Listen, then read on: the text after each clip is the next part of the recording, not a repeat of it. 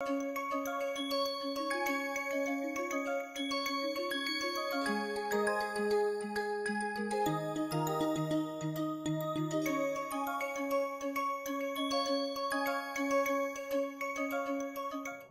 you have these uh, definition of positive definiteness and I want to connect it to uh, this matrix. Yeah, I want to sort of claim in some sense that the matrix function x transpose Ax yeah or, or basically if I just add a t plus 1 does not change much. This is also positive definite function in the sense of you know how we talk about positive definiteness okay. So, I want both definitions to align. So, I want to claim that x transpose Ax given that A is positive definite is a gives is a positive definite function okay. How do I do that? It is pretty straightforward. I can decompose A in this form because A is a symmetric matrix uh, otherwise I can't talk about positive definiteness. So, A is symmetric therefore, it's you can decompose it in this form this M transpose lambda M where lambda contains the diagonal matrix of eigenvalues and M is just the eigenvectors alright. So, I can do this sort of uh, characterization here right and then if I write my uh, if I write x transpose Ax in this form right basically I am just uh, in a sense doing a similarity transformation if you think in terms of coordinates yeah. So, if I write my x transpose Ax like this and I choose and so I can write this as mx transpose lambda mx and I choose y as mx this is a new state right this is the similarity transformation right. Uh, so, so y is constructed out of the eigenvectors right alright. Then this quadratic form can be written as this y transpose lambda y. All of this is very simple for symmetric matrices, right? Real eigenvalues, diagonalizable naturally and all that. Yeah? If it's not, then you have more problem. But we are dealing with this nice symmetric matrices, right? So, this is essentially sum of lambda i yi squared and all the lambda i's are obviously strictly positive and so this has to be greater than equal to some lambda min norm y squared right? Because I take just the smallest lambda i it is a finite number of lambda i so I can take the min. So I can just write this as lambda min sum of yi squared. So lambda min sum of yi squared is just lambda min times norm of y squared right? And so basically what I have is a class k function right? It is lambda min times class k function of norm y right? Because the norm itself is a class k function right it is like saying x square is a class k function right. Similarly, norm of y square is a class k function in fact it is a class k r function okay it is a class k r function not just a class k function okay. So, therefore, this and this is just a scaling right it is a positive scaling it does not affect the class k nature of the function right. So, this is just a positive scaling multiplied by phi norm y square. In fact, I can take this with the norm y square and just say that it is yeah? It is a class k function. So, what have we shown? We have just shown that x transpose Ax is dominates a class k function. In fact it dominates a class k r function. Therefore, x transpose Ax itself is a positive definite function. Okay? That is all we need. We need it has to be 0 at 0 and all that. Okay I mean it is 0 at 0 right? x transpose Ax is obviously 0 at 0 right?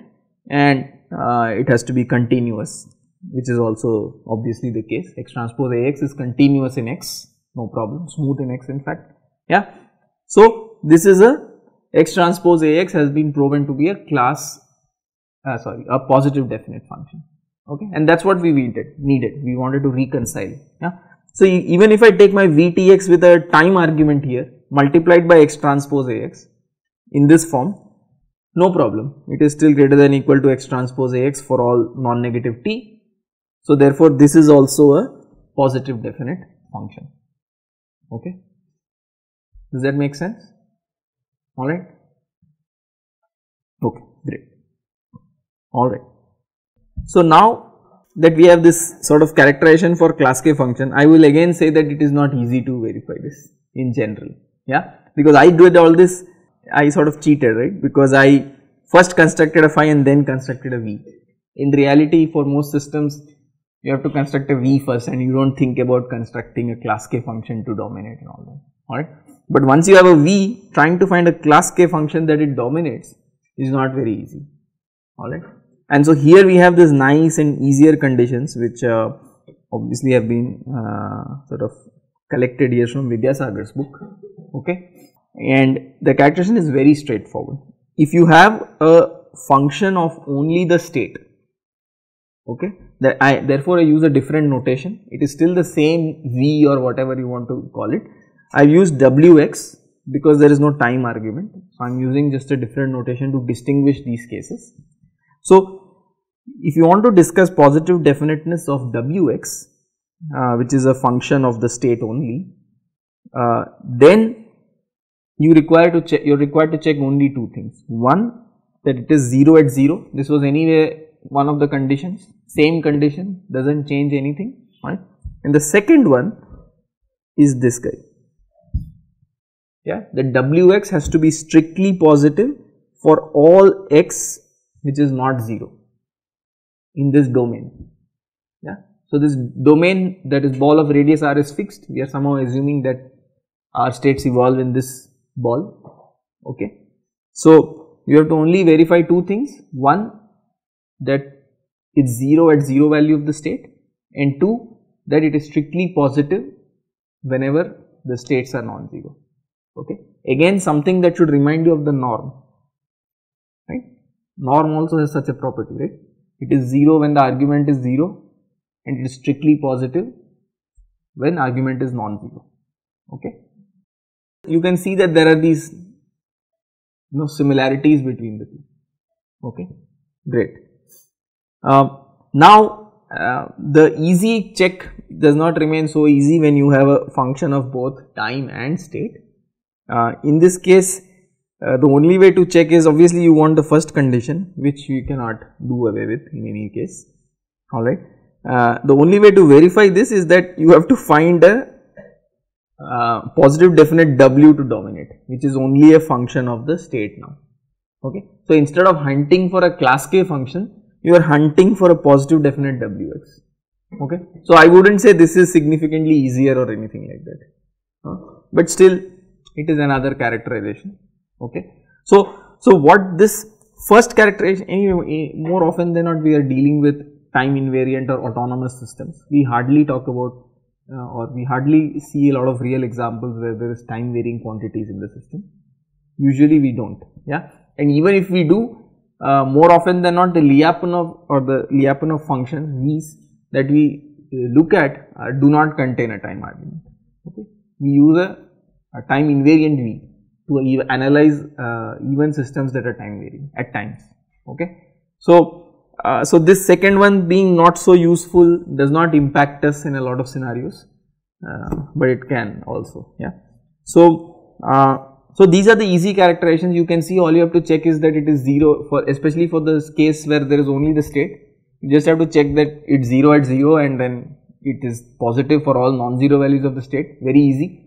Yeah? And the proof of this is in obviously in Vidyasagar's book. Yeah? Please take a look at it. It's very interesting. What it basically says is that if you have this kind of a condition then you can always find a class k function to dominate okay? If this condition is satisfied you can always find a class k function to dominate. Okay? So this is uh, rather nice right? Rather powerful. It is not a it's not exactly constructive in the sense that the book is not actually showing you a construction of the class k function, but it just shows that there exists such a class k function, okay, so this is pretty cool, okay, alright.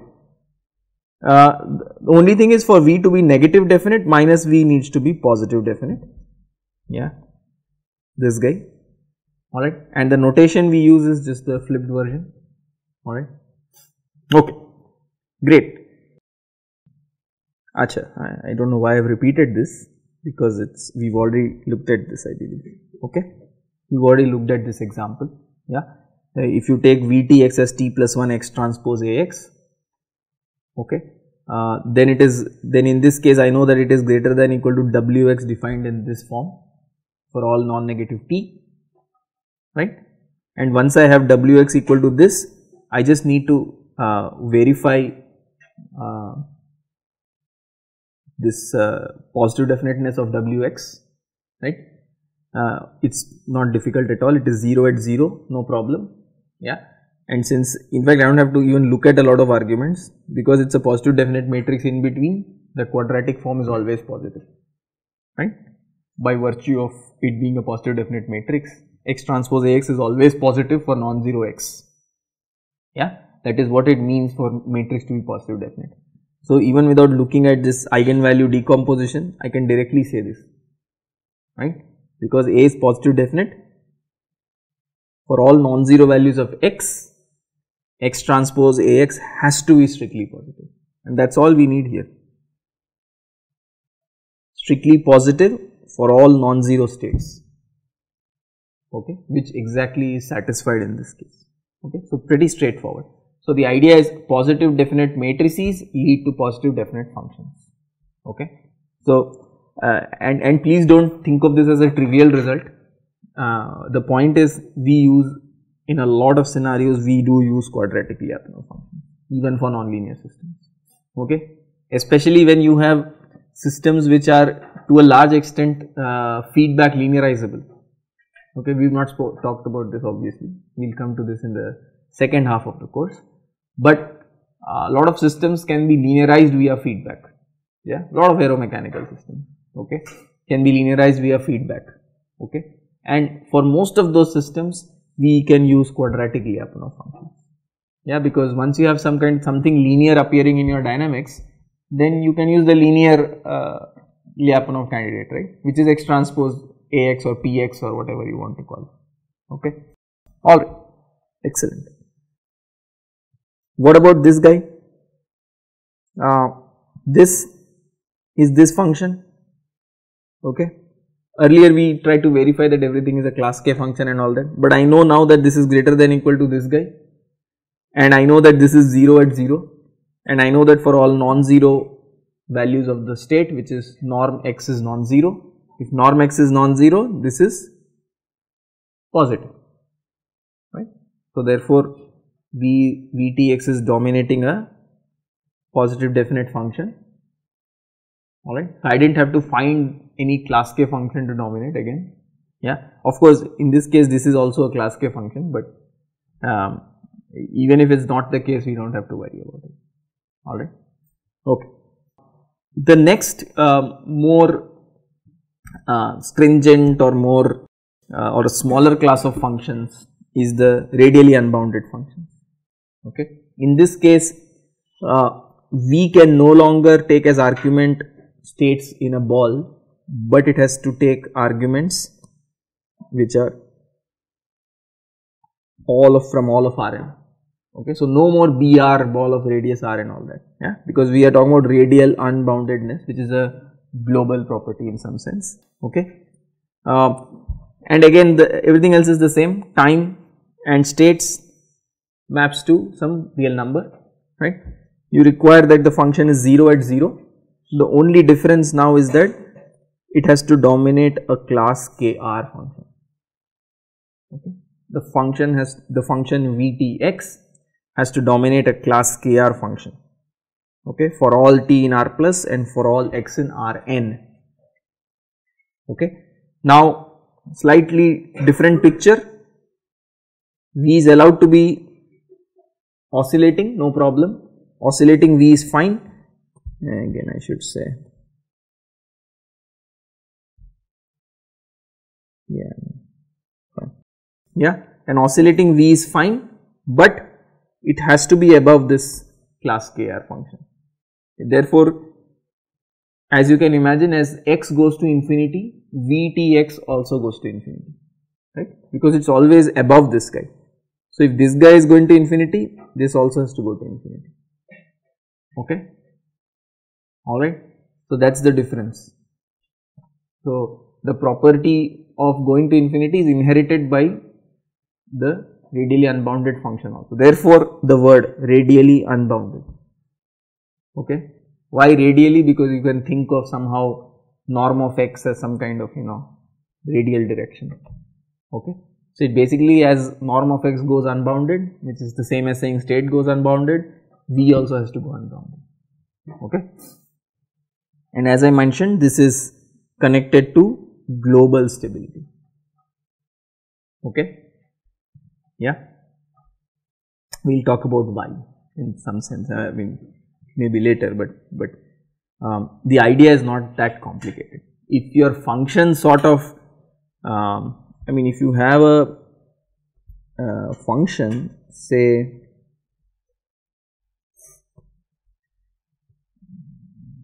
if your function looks like this. Yeah I mean I am at 0 yeah. Going to infinity on both sides this is v and this is x. Forget the time argument. Okay? If the function look looks like this then great. I mean if you say that uh, if you somehow say that uh, in the y argument that is in if you somehow can claim that my function lies below this guy yeah if I if I can claim that my function all value always remains below this right then I can claim that my x lies within this. Yes? No problem. Hmm? this is a radially unbounded function. Okay? This is a radially unbounded function. Yeah? It goes all the way to infinity. But now if I have a different scenario I have to make a different picture sorry I can't fit it here. If I have a different scenario which is that you have a function which now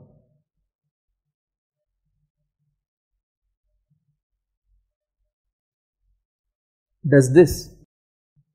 Yeah?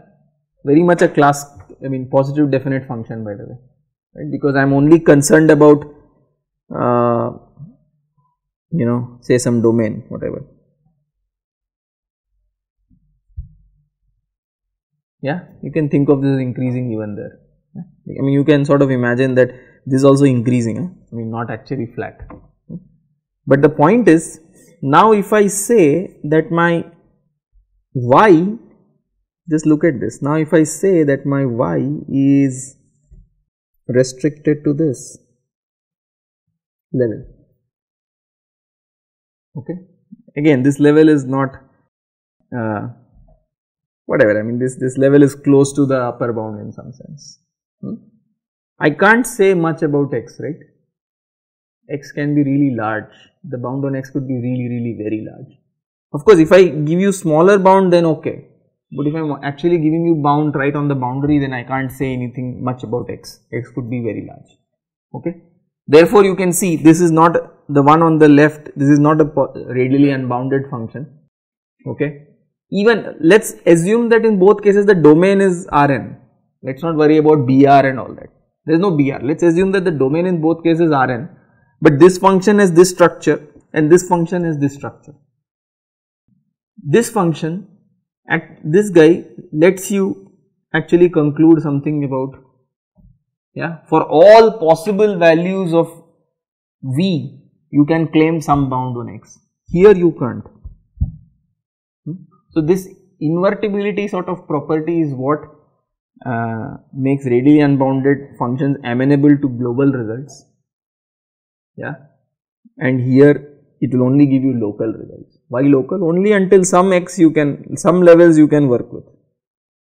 From this level okay, this level okay, this level okay, here not okay. Beyond that forget it. You can't say anything. Beyond this level though nothing obviously. Hmm? Can't say anything about x, x could be anything. Hmm? Because we can never reach that level. Alright. So that keep that in mind. That's the idea. We can, we'll of course prove some things so that these ideas are not just ideas and you see that it works in the math also. But it all depends, it's, it's always using invertibility properties. You will always think of using V inverse. Whenever you look at the proof, you will see entire proof goes by using V inverse and so on and so forth. And that's what is this is, this is V inverse, right? Okay. Alright, great. Okay, so examples. This function obviously class kr just the norm in fact just the Euclidean norm yeah this it's itself is a class kr function so if I take v as that v has to be radially unbounded huh? because it's equal to a class KR function. Alright, simple. This example again obviously class KR. Why? Because this dominates this guy. Right? This dominates this for all non-negative time. Right? So again class KR sorry dominates a uh, class KR function or a you know positive definite or a radially unbounded function right. So you are fine. So this is radially unbounded yeah. In fact uh, you can also think of it differently you can say that this is dominating a class K function and goes to infinity as x goes to infinity in any direction. So we are fine okay alright. I think that was until let's see like this. Hmm? Yeah. Let's look at this guy. What about this guy? 1 plus sine squared t divided by 2 x1 square plus x2 square. Okay. I am again claiming that this is greater than equal to half x1 square plus x2 square for all non-negative t. Convinced? Yes, because sinusoid smallest value is 0 because I took a square deliberately. So therefore I get the half okay. I have deliberately taken this example for one specific reason. Hmm? Okay. Um, easier conditions. Okay. Uh, unfortunately, for all the examples I am taking, uh, easier conditions and the normal conditions don't look too different. But I can promise you these easier conditions are what most people use. Yeah, they never try to find a lower bounding class k function and kr function. Alright. What are the easier conditions? The first two conditions look exactly the same for radial unboundedness.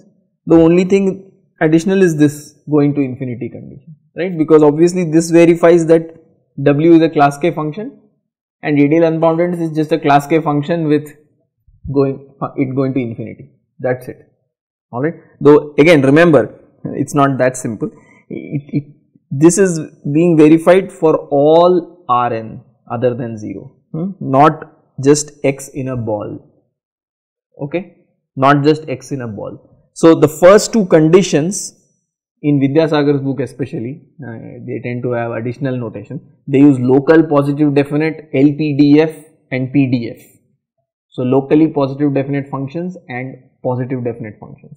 So, this is actually a PDF, a positive definite function in Vidyasagar's notation. Why? Because if this is verifying this class K condition for all states. Hmm? not just states within some ball around the origin. Alright. So, that is the difference here. So, that is why I have written global positive definiteness plus the unboundedness condition. Okay? Great. Uh, counter examples. Okay? Counter examples are very good because they tend to jog you if you look at this function Huh? This is positive definite radially unbounded. I have written an explanation. The function is x1 plus x2 whole squared divided by 2. Yeah. What happens? There are only two states x1 and x2 and I am giving you a function x1 plus x2 whole squared and divided by 2 is irrelevant but whatever. Is this class K, class KR? What is it? Is this class KR? Okay, so this is you're talking about class K. Okay, so what are those non-zero points? Right, as simple as that. Yeah, this is not even class K. Why? Because if x2 and x1 are opposite signs, x2 is minus x1 alright? For all possible values of x2 equal to minus x basically this line that is what I have drawn here. Yeah? Along this line v is 0 along this line in state space this is 0 and this does not satisfy our easier test. Easier test requires for all possible non-zero states. Yeah? And these are obviously non-zero states. Hmm? For all possible non-zero states except for this guy V has to be strictly positive or W has to be strictly positive which is not okay. So that is a problem not positive definite. What about this guy x1 square plus x1 4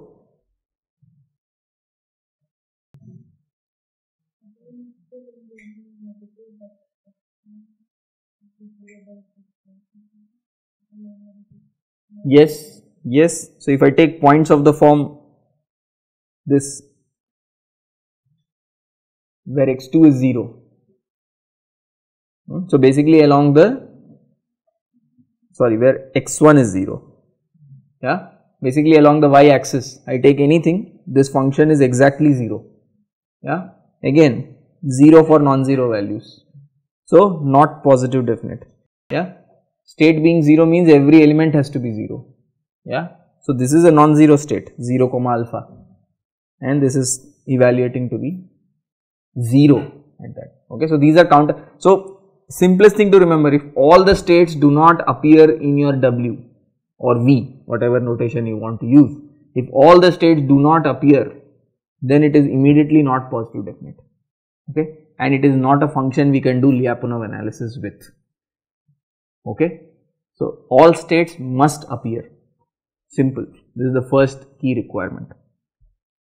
Alright next. But this this we have already done right? This function. This is positive definite right? We have already done that because it is strictly positive. Yeah? For non-zero values of norm x right? But this is not radially unbounded. That should also be very evident. Why? It maxes out at 1 right? Maximum value this can take is 1 as x goes to infinity therefore it is not unbounded. Okay? So this is some something like a i mean i mean uh, maybe the shape will be different but it's something like this guy tapers off. Hmm? doesn't go to infinity. So this is again um, cannot be used for global stability analysis. Only for local results you can use this. Okay? All right Similarly, for the easier test for radial unboundedness or uh, not necessarily easier anymore, if it is a function of time and state, uh, you still need the 0 condition and you need a Wx which is radially unbounded that you can dominate. Okay. So, this is not an easier condition like I said because uh, it is almost the same as trying to find a class KR function. Okay. So, for the time varying cases as you can see the easier conditions are not too easy but that is about all you have okay. So, but for the time invariant V or W you have very easy results to verify okay.